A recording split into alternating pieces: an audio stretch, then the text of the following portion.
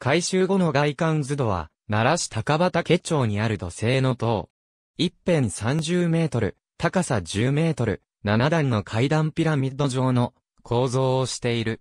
奈良時代の建造で、東西南北の各面に石仏を配置する。1922年3月8日、国の史跡に指定された。南東部より、撮影総検事新薬指示伽藍と図土の模型東側から見る。図土は写真右上にある図土は、森土の表面を石で覆い、44体の石仏を配した日本では慶の仏塔である。東大寺王録の記録では、神護慶運元年に、奈良時代の僧、実中によって造営されたという。そこでは、土塔と表記されている。実中が作った土塔であるということは、平安時代末には忘れ去られた。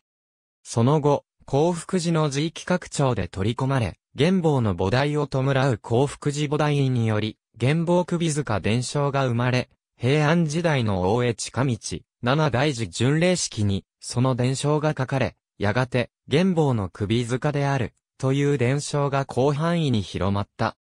そして、土塔が転化して、ずっとと称されるようになり、玄宝首塚説との関連で、図土という漢字が当てられたものと考えられる。昭和になってからの研究では、石田重作が奈良時代末期において、インドの新様式を取り入れた最先端な仏塔と結論付けた。図土の各段には、浮き彫りの石仏が配置されている。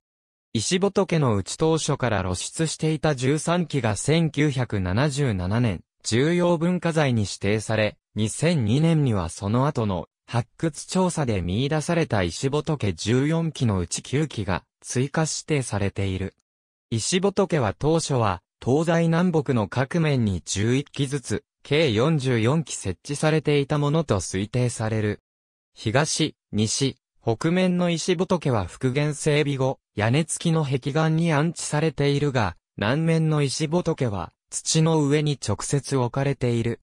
奈良文化財研究所による1986年からの発掘調査終了後、北半部は復元保存、南半部は発掘前の現状保存の形で残されている。塔は半築による方形の土段で、基段は一辺32メートル、高さ1.2メートル。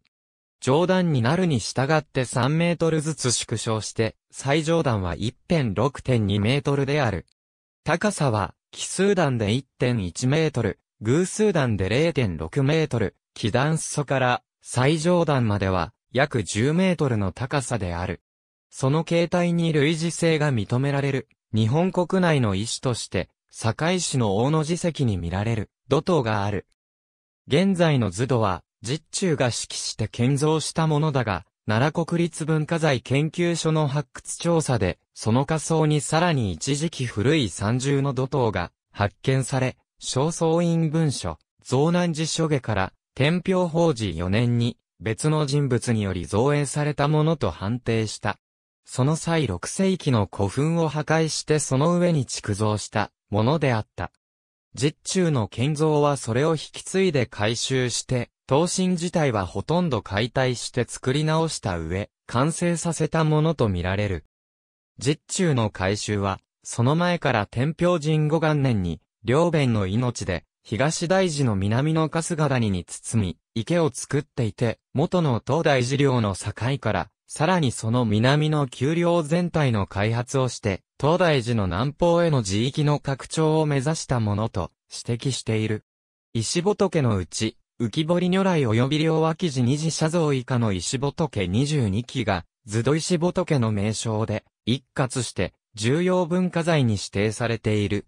は2002年追加指定。ありがとうございます。